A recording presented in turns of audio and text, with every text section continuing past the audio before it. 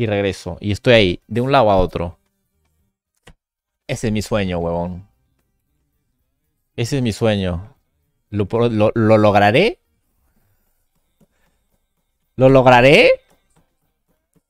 Yo creo que sí lo voy a lograr. Algún día podré decir, chicos, directo de Perú. Estoy en Perú. Acá en mi departamento. Vamos a hacer un directo acá. Y luego me regreso acá. Increíble, ¿no? O sea, sí, yo creo que sí, la verdad, yo creo que sí.